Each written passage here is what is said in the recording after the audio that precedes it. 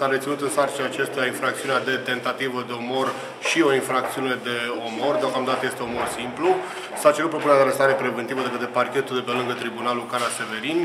S-au avut în vedere faptele deosebit de grave pentru care acestea le-ar fi săvârșit, iar Tribunalul Cara Severin a luat uh, măsura arestării preventive pe termen de 29 de zile, termen pe care noi, apărarea și inculpatul, am înțeles să nu-l atacăm cu recurs.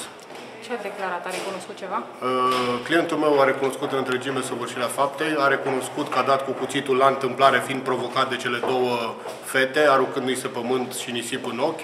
A spus că a dat uh, cu acel cuțit de mai multe ori fără să controleze.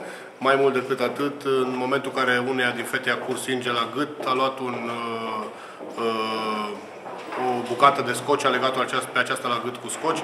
Practic a recunoscut în întregime săvârșirea faptelor.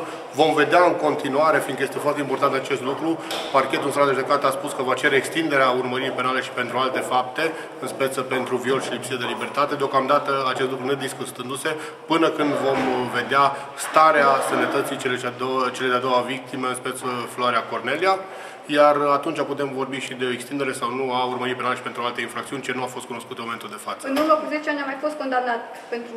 Da, este adevărat, în urmă cu 10 ani este o treabă foarte interesantă, a fost condamnat pentru uh, omor, a fost condamnat la 20 de ani de către Tribunalul Cara Severin, sentință fiind casată de Curtea de Apel uh, Timișoara, iar în judecare a fost achitat, sentință menținută definitiv de înalta Curte de Casație și Justiție, deci practic el a fost atacat, uh, achitat definitiv în acest dosar. Se va redeschide cazul?